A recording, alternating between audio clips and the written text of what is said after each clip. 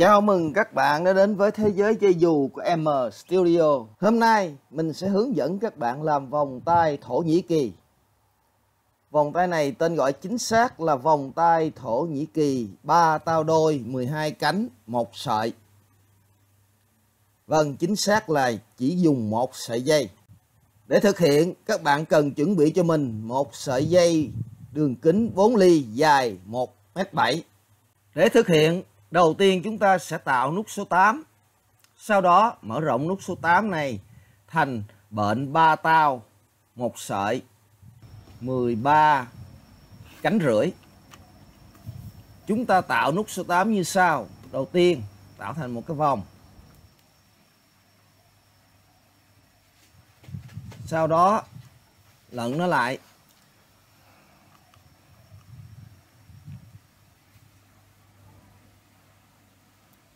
sau đó xỏ đầu dây qua cái vòng lòn từ dưới lên. Và chúng ta sẽ siết chặt. Đây chính là nút sợi đơn mà tôi đã hướng dẫn trong video. Nút dừng một sợi. Để nó rộng, chúng ta kéo to cái vòng. Lận là một lần nữa theo chiều ngược lại. Và cũng xỏ ngược từ dưới lên.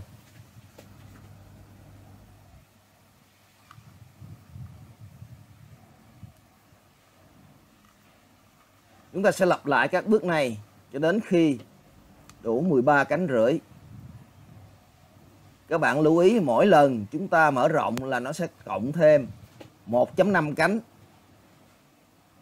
Đó là hai cánh nhỏ ở hai đầu sẽ không coi là một cánh mà chỉ được xem là nửa cánh.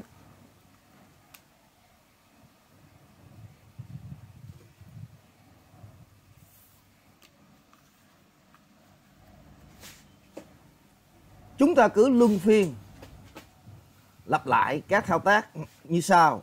Đầu tiên, mở rộng vòng tròn ở đầu.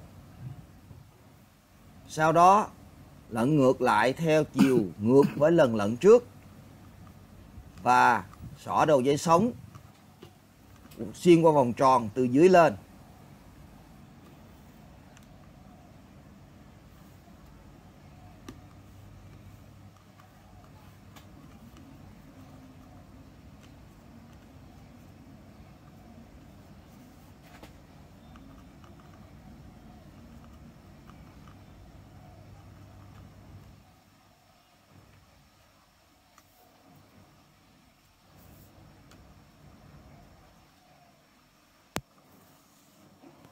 Ta cùng kiểm tra nửa 1 2 3 4 5 6 7 8 nửa tổng cộng là 9 cánh. Như vậy, để có 13 cánh rưỡi, chúng ta còn phải lận thêm 3 lần nữa. 1 2 3 4 5 6 7 8 và hai cái đầu nữa là 9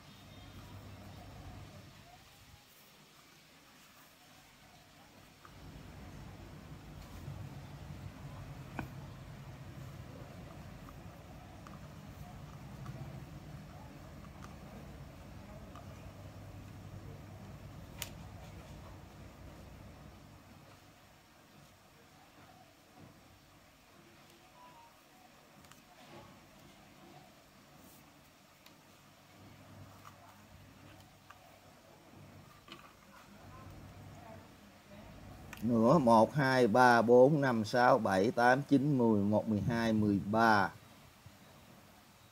cộng với nữa nên là 13 rưỡi. Như vậy chúng ta đã hoàn tất bước thứ nhất. Sang bước thứ hai là sẽ nối lại thành vòng tròn và nhân đôi. À, bước này dễ bị nhầm lẫn cho nên các bạn chú ý. Chúng ta sẽ đấu đầu nó lại thành một vòng tròn các bạn chú ý hai cái đầu dây sống chúng ta, một cái là xiên lên, một cái là xéo xuống. Chúng ta sẽ trồng nó lại để cho cái đầu, cái vòng nửa cánh nó sẽ nhập chung với cái vòng một cánh kia. Chúng ta có cái phần trùng nhau là phần nửa cánh. Để sao cho tổng cộng cái vòng tròn này bây giờ chỉ còn lại 13 cánh đúng thôi mà thôi. Như thế này. Sợi giữa sẽ sẽ nhập với nhau.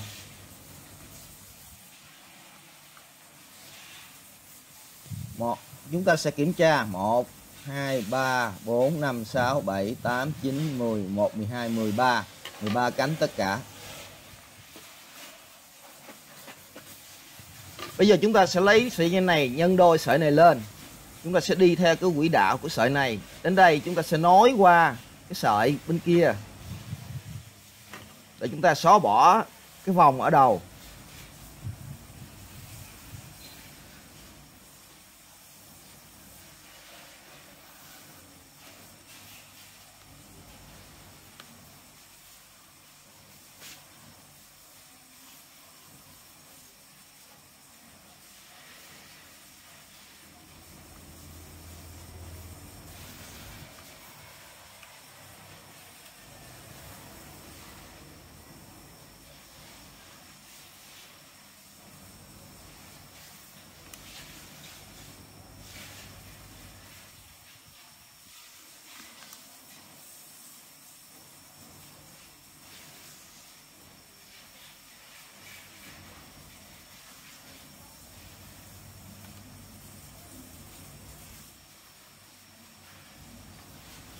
Khi nhân đôi đến đây, chúng ta sẽ nối cái cánh nguyên vào cánh nửa như thế này.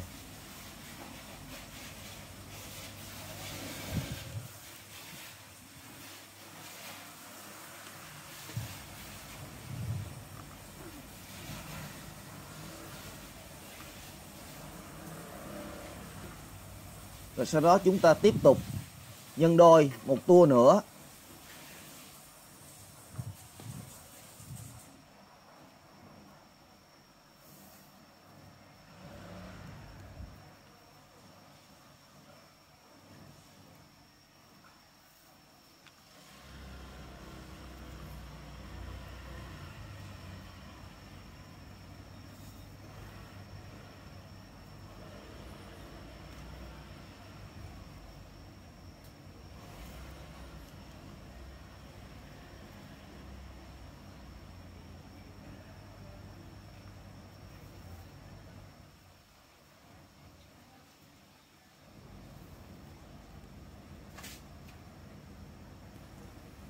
đến đây chúng ta cũng sẽ bắt nối cái cánh nguyên vào cái cánh nửa như thế này. Và cuối cùng chúng ta sẽ chồng mối để giữ mọi thứ vào đúng vị trí.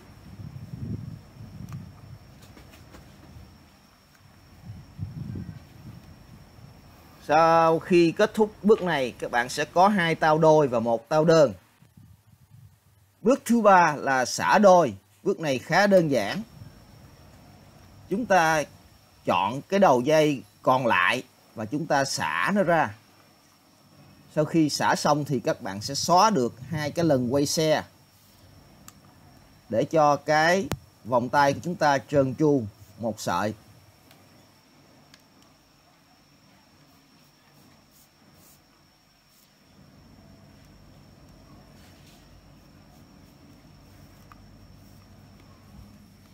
Chúng ta đã xóa được cái lần quay xe thứ nhất.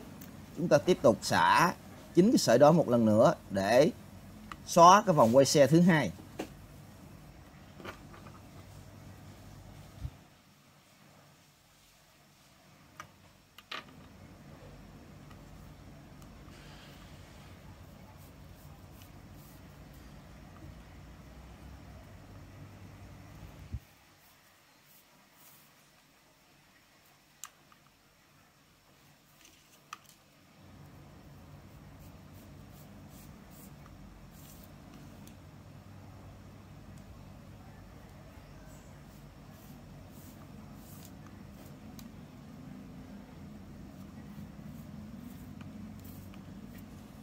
Bây giờ chúng ta đã xóa được hai cái lần quay xe.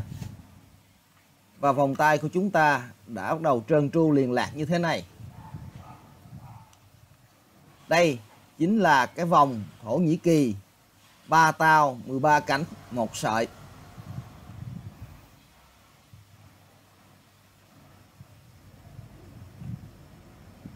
Kiểm tra một lần nữa xem đúng có 13 cánh hay không. Chính xác. Bước thứ tư là chúng ta sẽ nhân đôi nó lên. Đến đây chúng ta có hai cái lựa chọn.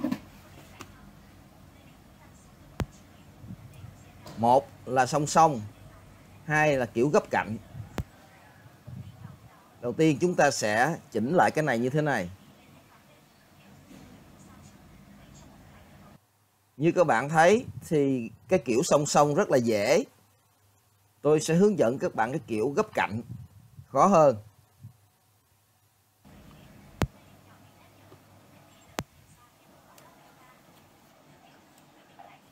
Đây là một vòng tay hoàn thiện theo kiểu gấp cạnh. Chúng ta sẽ làm theo kiểu đó.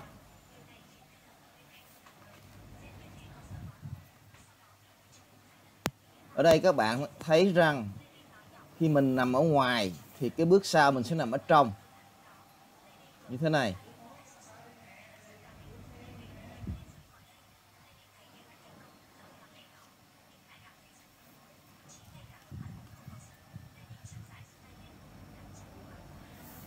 cứ tiếp tục như vậy.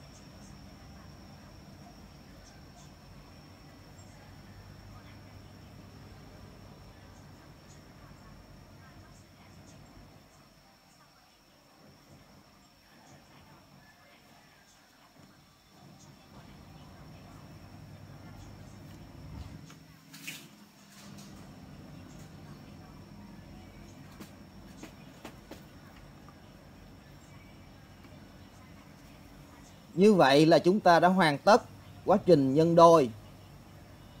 Chúng ta bước sang quá trình siết rút. Để siết rút chúng ta cần một cái rập. Rập là một cái vật hình tròn có đường kính bằng với cái đường kính cái, cái lớn nhất của cái bàn tay của bạn khi mình trồng vào. Ở đây mình sử dụng đường kính 65 mm. Các bạn có thể sử dụng cái ly trà sữa hoặc là các cái vật tương tự để làm rập. Chúng ta sẽ trồng vào, trồng cái vòng tay vào cái cái cái rập, cố định một đầu dây và siết rút nó dồn phần dư về cái phía đầu dây còn lại khi rút siết thì các bạn chú ý đến lực tay lực tay chúng ta cần phải làm đều để cho cái nút nó nó đều và đẹp.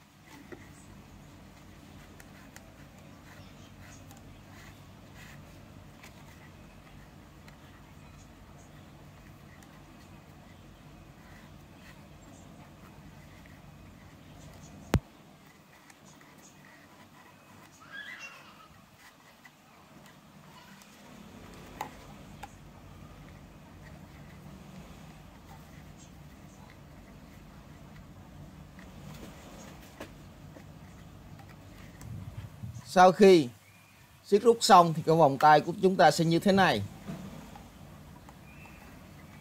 Chúng ta tháo nó ra khỏi rập và chuẩn bị nối đầu dây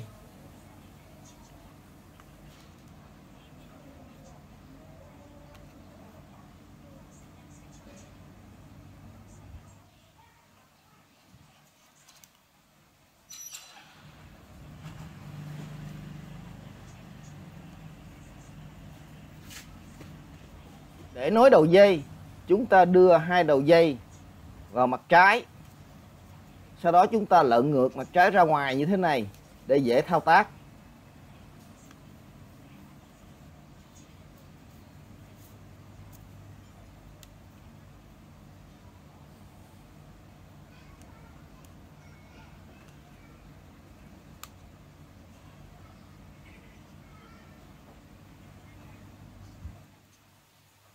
Lấy dấu vị trí cắt nối.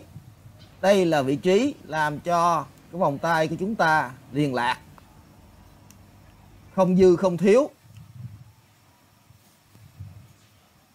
Sau khi xác định vị trí cắt nối, chúng ta rút mạnh để lấy không gian thao tác. Dùng kéo cắt ngang hai đầu dây một lượt. Dùng lửa hơi chảy hai đầu dây và tranh thủ nói nó lại khi nó chưa nguội hẳn.